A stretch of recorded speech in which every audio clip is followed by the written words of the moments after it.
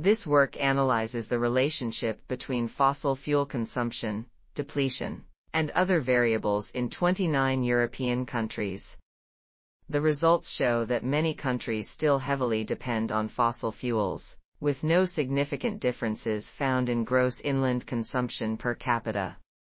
By 2050, it is estimated that only approximately 14% of oil, 72% of coal, and 18% of gas proven reserves will remain. Given the small reserves of European countries on fossil fuels, if they need to use them, they will fast disappear. The work aims to increase public awareness and provide information for decision-making processes related to energy policies. This article was authored by Florinda Martins, Carlos Felgueiras, Miroslava Smitkova, and others. We are RTCL.TV, links in the description below.